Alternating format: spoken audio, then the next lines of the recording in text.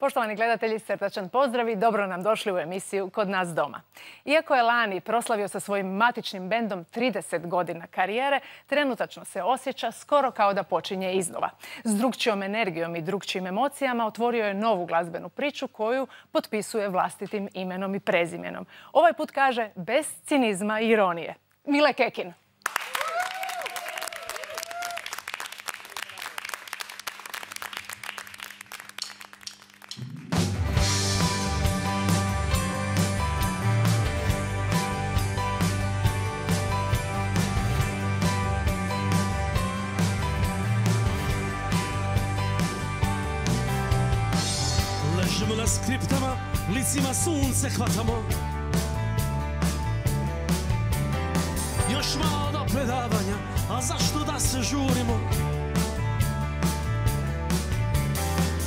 Tebe nosi Amerika i neke zemlje daleke. A mene fura muzika i naš prvi CD. Koja sreća kad se sada sjetim Kad si ušla u moj Renault 4 Mjesec pun ko brod iznad autoputa Klizimo kroz noć kao nož kroz puta sreća kad se sada sjetim Kad si ušla u Renault 4 Mjesec pun ko brod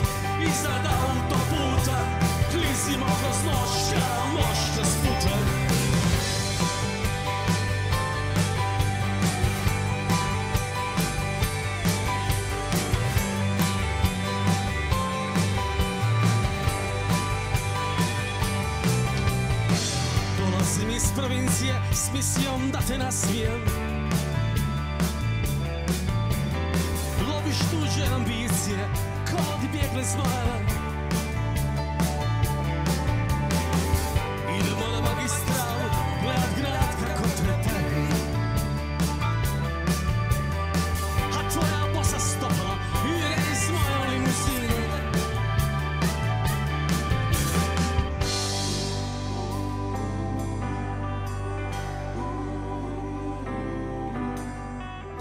Tvoj sam momak, naglaska tvrdog.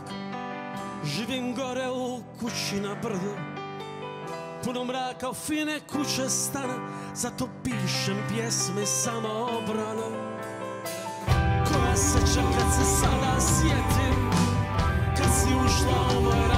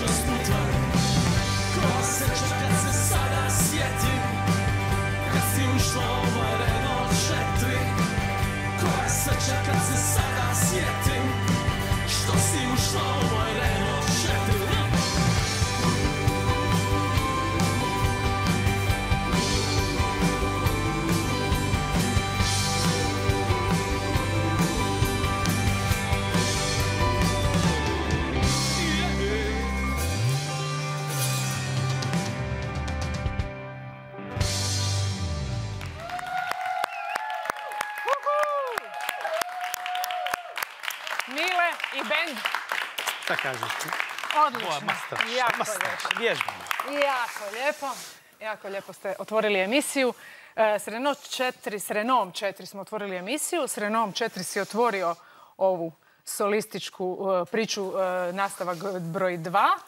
A moguće da si s Renault 4 otvorio svoju ljubavničku karijeru? Pa, da, da, znaš, zapravo si blizu, da. Nisam ja mogao ranije otvoriti. E, nisam imao auto, em sam išao u čisto uh, mušku srednju školu. Da, ono, logično. Tako da je Inače bi ono- sigurno ranije. Da sam imao kola u srednjoj, ko zna gdje bi bio kraj. E, Renault 4, to je već dvije godine prošlo ili čak i Da, više, mislim da je dvije malo. godine, dvije godine, da, od singla. I to je označilo taj, taj početak. Koliko ovaj, je bilo potrebe u tebi za tim nekim e, novim solističkim odmakom od hladnog piva?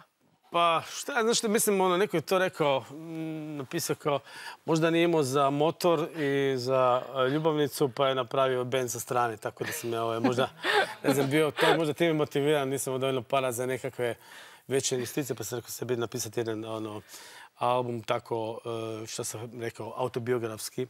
Iako, mislim, to je onako uvijek, i albumi hladnog piva su imali dosta, mislim, jako autobiografskog u sebi, međutim, ovo je više nekakav e, zamišljen kao jedan mali film i zato sam htio e, skupiti neku novu ekipu sa nekim novim e, muzičkim ono, aspiracijama i I doista bez ironije i cinizma. Pa mislim da da, da dosta. Evo, ima jedna pjesma, možda zbogom tjeskovu koju ćemo se večeras odsvirati na tom albumu koja je zapravo tu malo i cijelo vrijeme stršala, zato kad ima malo toga a, prepoznatljivog, hladnog pivovskog, da tako kažemo, zapravo to, taj, taj neki rukopis gdje se ja malo kao šalim sam sa sobom. Ali mislim da inače na albumu nema toga previše. E, Spomenuo si već i sam i to često e, si naglašavao promovirajući album e, koji je već godinu dana vani, e, da je to zapravo tvoj neki road movie e, film. Da, mislim, bilo bi lijepo da što pisati, fi- na, na, snimiti film tako neću, međutim to je bilo preskupo, kao što rekoh. Samo, samo se vraćam na te novce kao neki faktor. Ali, ovaj, ali ovaj, da. Jako, mi je, jako mi je bitno ovaj, kad, kad pišem pjesme, pogotovo na ovom albumu kad sam ih pisao, da ljudi kad zatvore oči vide te scene u glavi i da je mogu ovaj, zamisliti. I znam da, sam, da meni to uvijek palo to kad ja, zato sam uvijek volio taj storytelling, znaš, ono kao kad mm, u 3-4 minuta malte ne odgledaš jedan, jedan film i to, i to mi je bilo, ovaj, što kažem, kroz 10 scena da pokažem eto taj razvoj tog nekog um, dečkića koji je jako ličio na mene. E, Spomenula sam da je to zapravo e, nastavak broj dva, jer prije 17 godina si imao e, također solističku avanturu Mile i putnici. Koliko se ovo razlikuje od toga?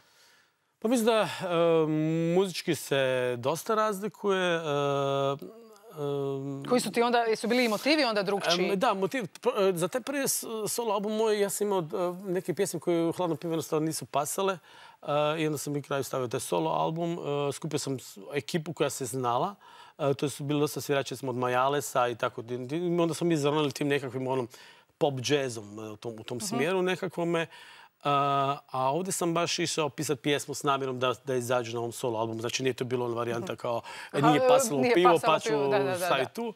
E, tako da je to drugačije i mislim da žanrovski su dosta, ovo su momci koji su više, to je nekako, ajde, to je više ovaj karizmatični naš ovaj, klavijaturista, Danko je recimo, kad Danko kaže, znači on, on, je- on jako dobro poznaje ono početke rock'n'rolla pa sve do sada, znači on je i slušao u svojoj mladosti i Cepeline i ACDC, sad svira U2 cover ovaj, uh, tribute bandu i mnogim- mnogim drugim tribute bandovima.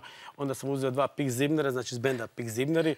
A to su uh, uh, Alazo na, na električnoj gitari i harmonici, Marko Bregant na gitari. Marko, ovaj, Neben Jurić je došao posljednji kao basista i Matko Gaća iz Daleke Makarske, moraš imati barem jednog dalmatinca u bendu, pa rekao sebi. Naravno. I moramo bar jedne putne troškove, ali zapravo za ovu emisiju čak i, čak i e, dva. Jesi li dostigao svoje kantautorske uzore? Ne, ne, ne, ja kad, kad slušam te svoje uzore, to me uvijek deprimira i ono, zato kad su...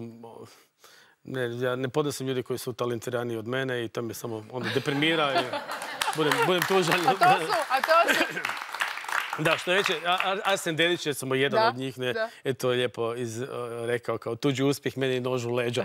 Tako je ovaj, sa, sa tim ovaj, drugim sa velikim tim autorima. uzorima. Dobro, onda ih nećemo ni spominjati, jel tako? Ajmo mi na spomenutu već pjesmu s Bogom Tjeskovo, koja se jedva našla na albumu, pa ćeš nam i objasniti kako i zašto. Može? Može. Da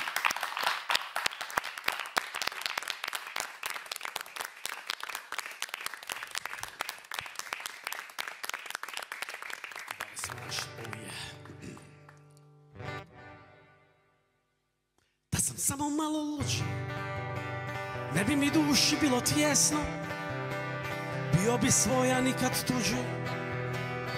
Da sam samo malo luđi. Da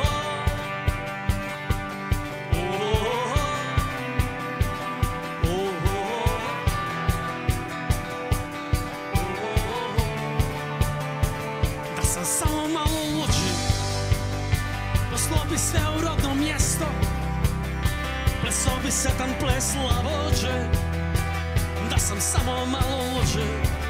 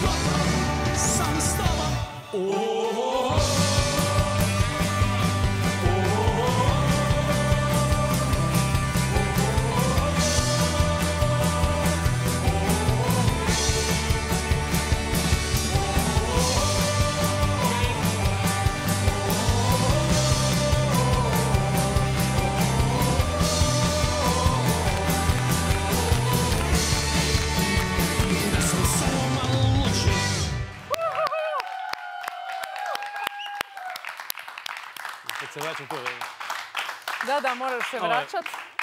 To smo mi skužili, nije zbog tebe, ti si u formi, ali neki baš i nisu u formi e, glazbenici, pa smo to napravili, znaš. A da bude kratka ova relacija. Da, da njima sam mrla. Hvala. E, Evo, spomenuo si da je ovo dakle, jedva ušlo na album zato što malo podsjeća na hladno pivo. Pa kakva je tu situacija bila? Koliko je to pjesama e, bilo i izletilo? I što se dogodi s tim jadnim pjesmama? Jako sam... E, Pa oni čekaju svoj pravi trenutak. Recimo Renault 4 je tako čekao ono, 15 godina. Ma da, da. da završim. Da, krenuo sam, prvo sam napisao prvo, prvo dva stiha i nikak se nisam mogao maknuti dalje. Imao sam tu sliku, znaš, ispred filozofskog za vrijeme između predavanja je bilo onako, dugo si morao čekati, onda sam tako imao tu sliku. Ležimo na skriptama, licima sunce hvatamo, jer su one stepenice filozofskog- tu u Zagrebu.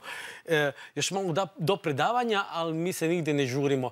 I sjećam se, tad, tad smo često između tih pauze predavanja smo pili ovaj, po tim kafićima. Ja sam tad još pio gusti sa šlagom. Sa šl- Joj, znaš To šta? sad, svi pili, da. Da. Gusti, sad- uopće sad To to sam ne se mogu, nedavno da. negdje pročitala, nisam mogla vjerovati. Da, u srednjoj do duše. Mislim ne da to na piće ali- izumlo. Još neko pije danas gusti sa šlagom. Jel se, Ne, nikad će- ne, Tad se to pilo, Da. ono, gusti sa šlagom. ne, Da, to je bilo ovaj, ono, ako si imao para i ono... Da, ja sam imao band hladno pivo i tad još pio gusti sa šlagom. I, tak, I nisam se mogao maknuti dalje sve dok se nisam sjetio auta koji sam vozio. Tako da... 15 ovo- godina poslije. Da. Dobro, e, koliko je pjesama otpalo? Uh, otpalo je jedno tri, četiri pjesme. Jedna je bila premračna, em, druga je bila preblentava, onda smo puno mijenjali aranžmane i tu nam je jako puno pomogao Deniken koji je tu dosta kao jedan mentor bio cijelo vrijeme nama. Deniken. Ma baš Deniken. dobro da si ga spomenuo, nevjerojatno, nećeš vjerovati. Koja slučajnost? Da, koja slučajnost. On je moj sljedeći gost, znači e, producent, aranžer, snimatelj, glazbenik, porinovac, Denis Mujađić Deniken. Dobro mi došao. E,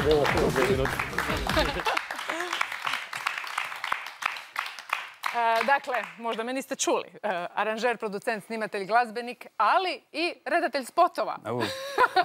I autor dokumentarca. Evo, upravo smo čuli pjesmu e, S Bogom ti skobu za, koji ti potpisuješ spot, ali ne slučajno, ne bez veze, nego s jednim dobrim razlogom. Pa u principu je to, Mile me zamolio, ovaj, pošto sam ja od početka... Pošto nije imao novaca za...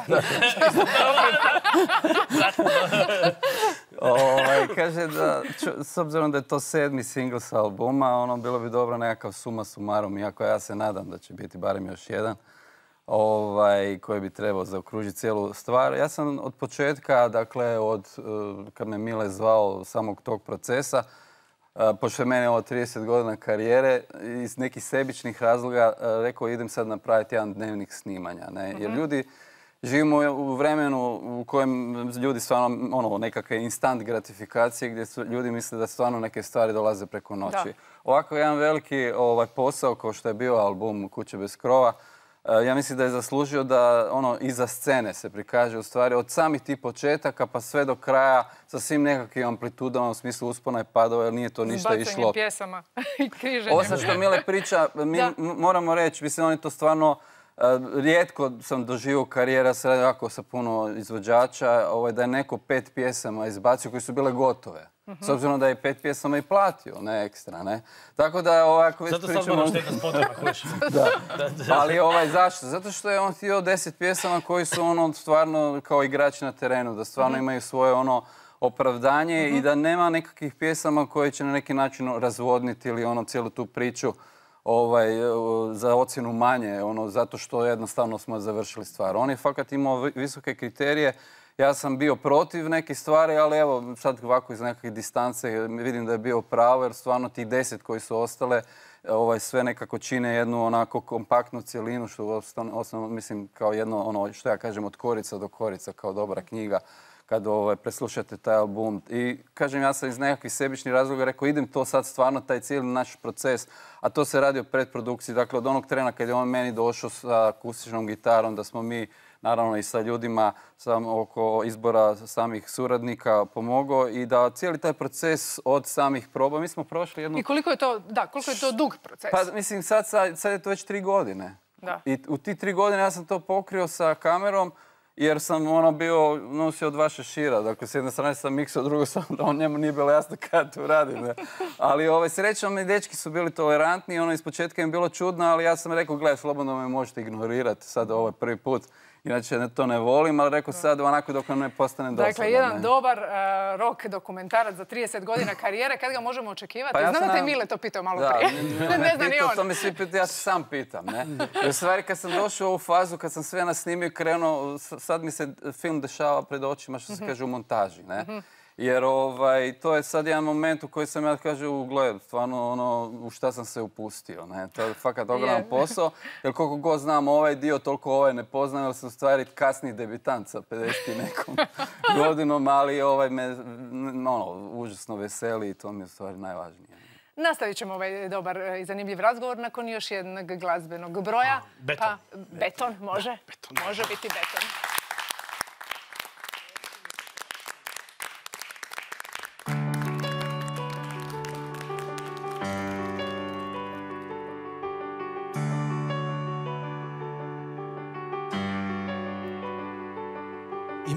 Točno 15, vrelo je ljeto. Stojim na suncu i zaljevam beton. Stari mi rekao da svježi beton na suncu puca. A nema on pojma koliko meni za beton puca. Imam točno 15 tona duplo više. Kad prođe tako fino zamiriše Preko puta je njena kuća opet se sunča Izgledam joj malo ljetno, ona ne zna da sam tvrtko beton. Ja sam njen undercover lover, njen ljubavni hazard, njen belosvetski švaler. Ja sam undercover lover, ja sam undercover. lover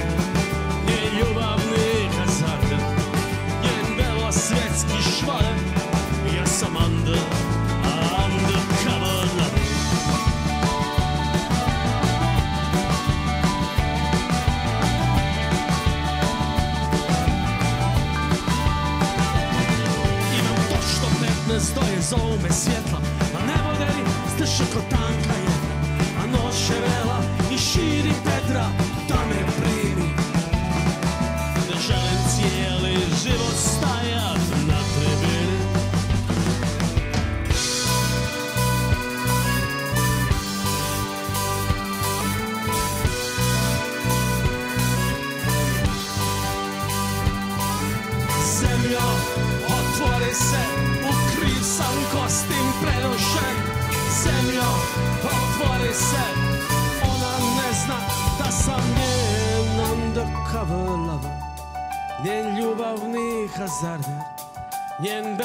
belosvetski švaler Ja sam undercover lover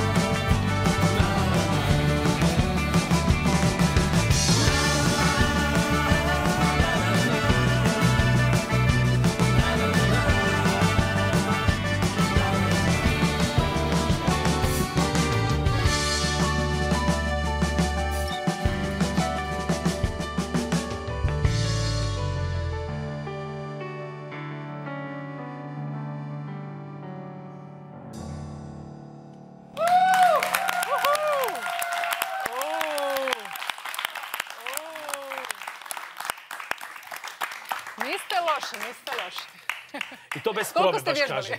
A, ovaj, a, naime, e, Matko je tu zapravo zato što ga Deniken preporučio. Evo, Matko, nisam ti to nikad rekao. Ovaj, naš bubnjar, a on je iz Makarske, tako da nisu nam proje baš redovite, ali evo, nekako imamo očito neku kemiju da to ovako funkcionira ponekad i na slijepo. E, lijepo, da, stvarno lijepo funkcionira. A mi ćemo se vratiti malo spotovima. Deniken, e, zanima me baš, e, stvarno si radio s puno e, izvođača na hrvatskoj glazbenoj sceni, e, najviše s rockerima. E, I, dakle, sudjelovao si u stvaranju, u oblikovanju i proizvodnji pjesme. Koliko jedan video spot kasnije može to sve uništiti ili Pa poboljšati? može puno, da, to je dobro pitanje. Ja volim kad slika pogura audio, ono što bi se reklo, ne. Da fakat kad je dobar spoj, ako ste primijetila, veliki albumi uvijek imaju velike omote. Znači ono u povijesti, pogotovo roka, svi veliki albumi su imali ono fakat i grafičku. Tako je poslije bilo sa neke stvari koje su ovaj, bile uh, hitovi kad su imali dobar spot, onda taj spot to je ono zlatno doba, naravno MTV, 80-ih to, ne. Ali i 90-ih, ne. A sad je to u principu još uvijek bitno, ali s obzirom na tu hiperprodukciju teško je ono... Ponekad ne, ti i da, promakne da, tako nešto, ne. Ali ovaj, to sad što ti pitaš, mm, ja mislim da je jako bitno da ta nekakva, kako bi rekao, kontinuitet idejni, da se na kraju krajeva i vizualizira. Jer kad je slika ovaj, ono nešto što na neki način kaže da govori više od tisuću riječi. Tako isto kad dobro pogura taj audio, onda je to nekakva mala, kao mali film. A pošto, zašto sam ja na kraju kraja išao, to što je Mile sam rekao, to je ono svirani film, stvari, na neki Da, način, taj da, album. da. Zato što su njegovi, to su male priče, ne, i to su ono kao nekakvi ono mali, ono da tak velim, ovaj, filmovi. Mali filmovi, tako, kratki da, da, filmovi. da. Mile, koji ti pamtiš svoj spot ili hladnog piva da je baš ono još pogurao, još dao taj dodatni? Pa, pogodili smo, mislim, dosta hladno pivo ima fakat jako puno spotova, a znam da je, recimo, a, pa, Pa recimo, ne volim to što je radio Gonzo, ono, to je bilo već nekih 90-ih, pa onda uh, Kulenović je za nas napravio par odličnih spotova za Roštilj, prvo, pa onda Politika, Cimer, Fraj. Cimer Fraj, koji je tada... me- međutim, njegov najbolji meni spot je Bački Zagreb Stuh Pašeja, što je ovaj... bio je, Onako malo rudimentaran. to je baš spot koji je na neki način predvidio ono što će nam se poslije dogoditi, ali ovaj, Dobro, onda... klinci će sad ići to potražiti. Da, to je stvarno odličan spot da, danas. Onda, e, pa poslije toga smo imali, evo, i moram za Filac, recimo ono što je napravio za ovaj moj album za pjesmu Takav par je isto spot koji po meni onako baš jako lijepo podcrtao pjesmu. Ali e, Filip Filković Filac je i autor e, spota Hladnog piva koji je dobio Oktavijana na Da. danima hrvatskog E, da. filma. To je film, to je spot E, za od svih pjesmu tih silnih dobrih Ezoterija. spotova Ezoterija sam zaboravio Da. koji je onako vrhunski spot koji je on napravio. A mi ćemo upravo njega sada pozvati da nam se pridruži u emisiji redatelj Filip Filković Filac. Dobrodošao.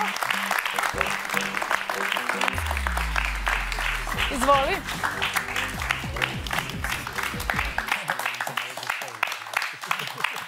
Dakle, da, od ezoterije do sada e, Mile Kekina i tih novih spotova, najviše spotova je od, ove- od, od Da. novih, od, Da. no- od ove faze, odnosno od albuma e, Da. Filip Da. e, režirao. Ti si ga napravio...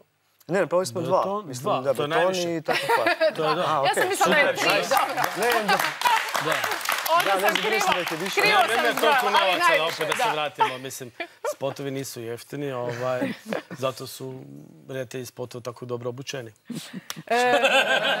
nema, nema besplatnih spotova kod nas.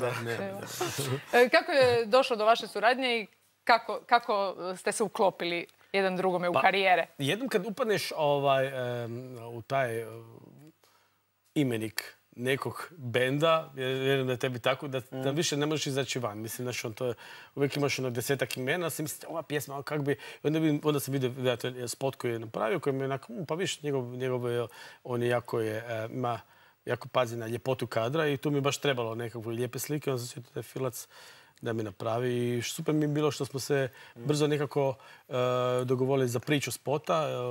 E, Tu smo onako nekako kompromisno našli nekakvu lijepu... Pa ne, mislim, za, za takav par je recimo krenulo doslovno ono, znaš, uvijek, uvijek ima Mile neku ideju i onda mi to onako dovedemo negdje drugdje. Znaš, ono, kao, uvijek je nekakva core ideja bila, recimo, za beton. Znaš, ono, Da. imali smo, Mile je došao sa tom kao ono, vizijom jednom, ne, koju smo onda mi malo razmatrali nešto, bi, ono, imali nekoliko vizija.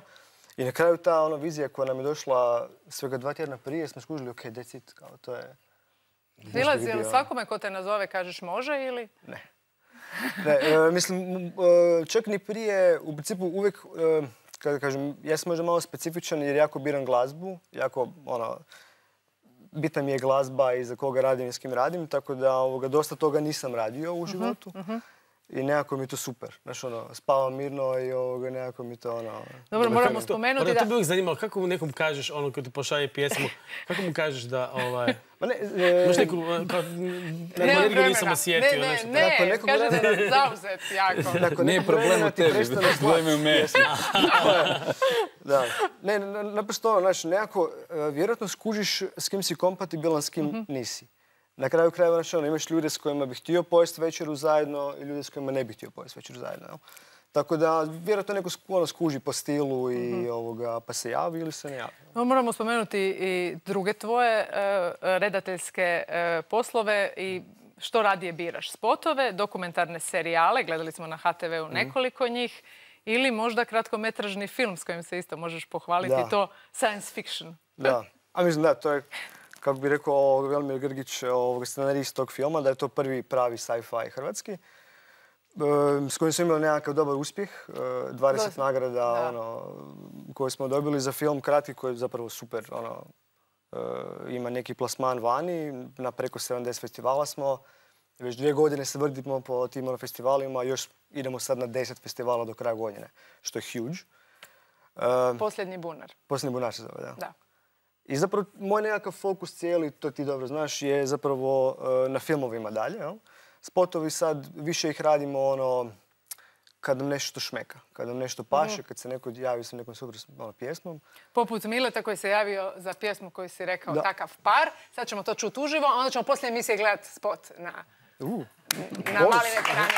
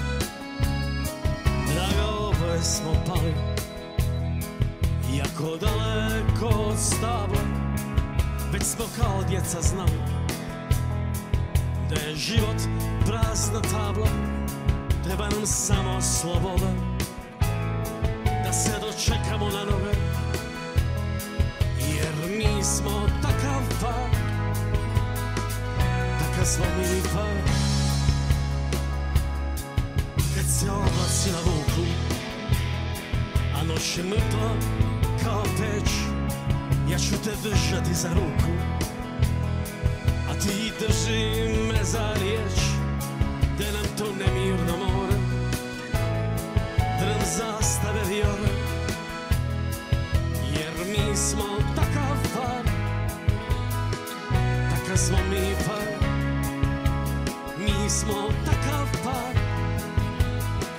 Takav smo mi par.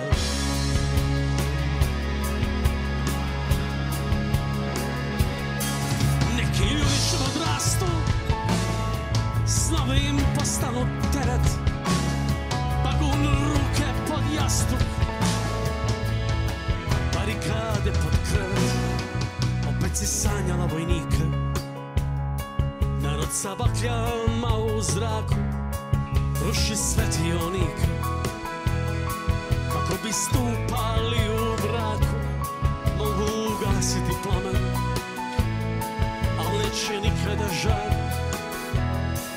Jer mi smo takav par Takav smo mi par. Mi smo takav par Takav smo mi par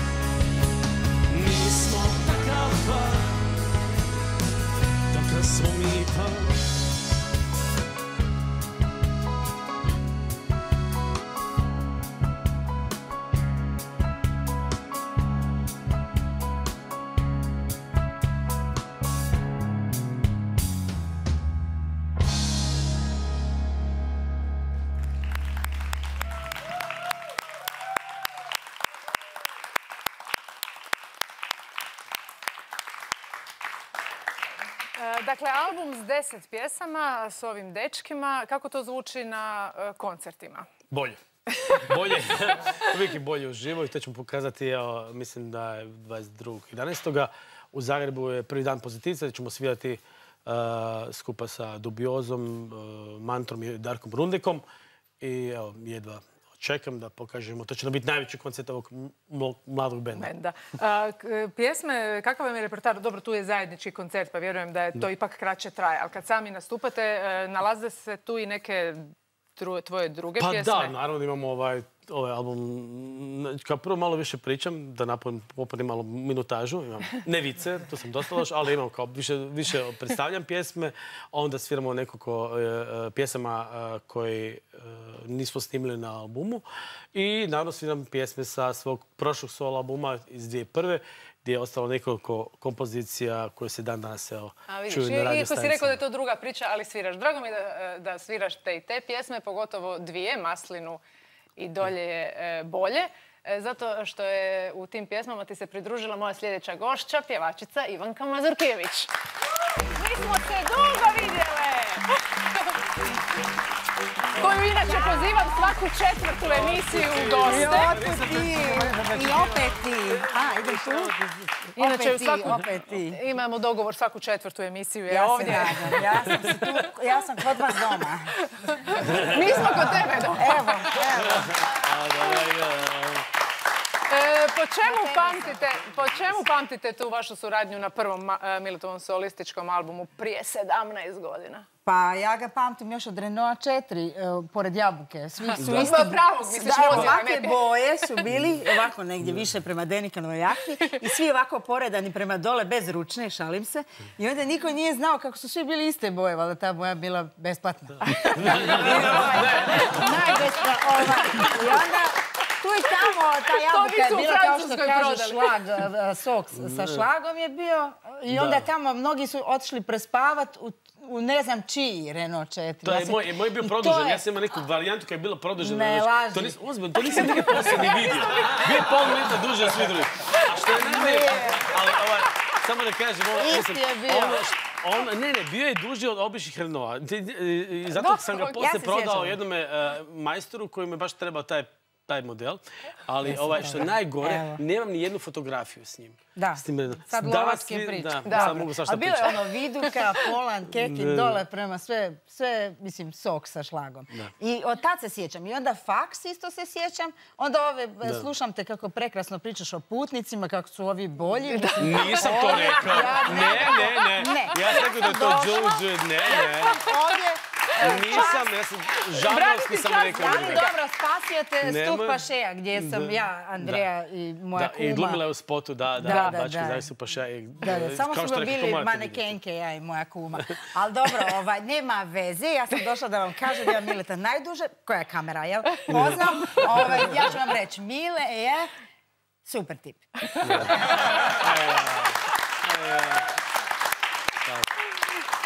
Znaš da ne smijem lagati. Znaš da pred kraj ne smijemo lagati. Dobro, dakle, da se vratimo na album. E, Taj e, od Mile, Mile taj putnika. Dugo je, da. Na dvije pjesme je čak gostovala. Kako je to uopće? To ja mislim da Kako je to jedinstveni. moguće? Kako je to moguće? Da prekršio si sva pravila. Da. Da, i baš su to bili najveći hitovi. Me Da. poslije malo frustriralo.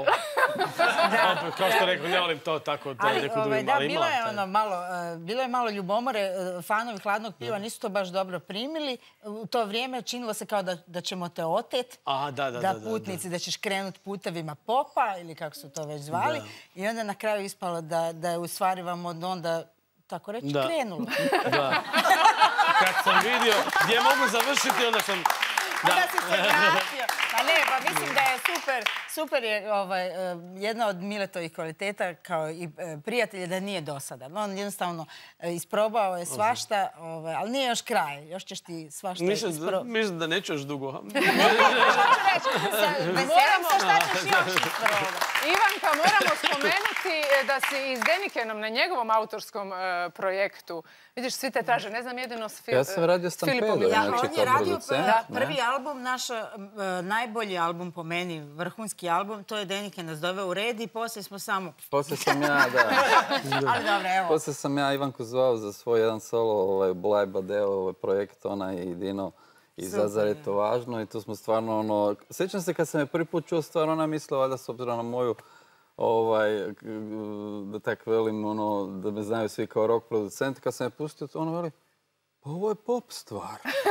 U šoku. Znači je, za Da. neki problem. Pa ne, ali ono, kao mislila sam veću sam da ćeš me da. nešto gnjaviti, da moram nešto urlat se. Ali Dakle, se za- svi smo lijepo povezani, još ne znam za vas e, Evo, dvoje. mi se... Nismo još. Trebali Ne, ali neki evo. spot. Ja Ovo sam je. SF me zanima. Ono, Da, Ivanka može, tako, Ivanka Zona može sumraka. Glumiti i tu sumraka. zapravo oboje dosta slični, imate tih glumačkih izleta i to prilično uspješnih ako Pa mogu. bome on ima, mislim. Pa imaš i ti, Da. ona, ona Nedavno sam bila, kazališta. nedavno sam, drugo. nedavno sam bila na specijalnom, e, specijalnoj predstavi koja je obilježila 15 godina Bitange i princeza. Nije te bilo, ali smo te se prisjetili. Vjerujem da se i vi sjećate tog Ja lika. sam rekao, zatvaranjem videoteka je taj, to nažalost, je to, Saša ostao je doma sa svojim laptopom i tamo nastavlja dalje sa svojom karijerom, ali u, u dva oka. Hvala vam svima. Hvala vam svima što ste bili naši gosti. Još jednom ćemo ponoviti 22. studenog e, u Domu sportova 15. pozitivac. Čućete, hoće, ču- hoće biti ova pjesma? Ja vjerujem Ova da. stara da, da. pjesma. Ova stara. Ova stara pjesma. Ivanka i Probat e, Mile za kraj. Poštovani gledatelji, hvala vam lijepa. Mogu ja odjaviti emisiju? Hvala vam lijepa. Gledajte emisiju kod nas doma i sljedećega tjedna. Srdačan pozdrav.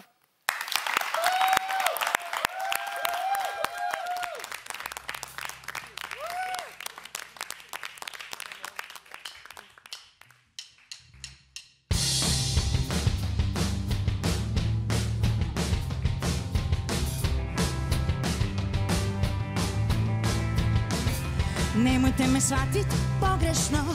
Život u raju je doista rajski. Ovdje sve je savršeno Ali su moji snovi zemaljski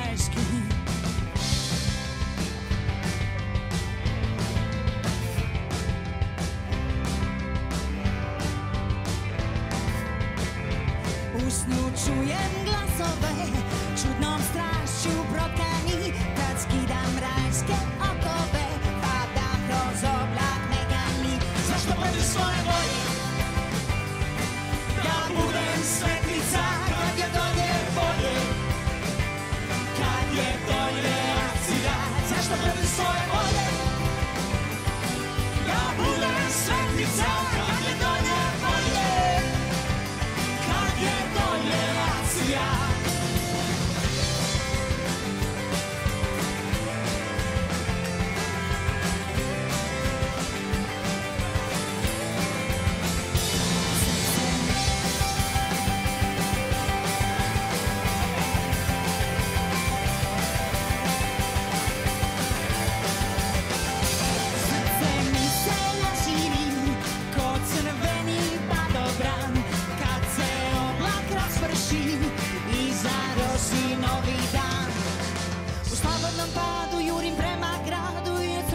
probudim.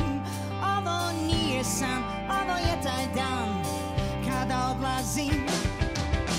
Zašto proti svoje bolje? Da budem svetica.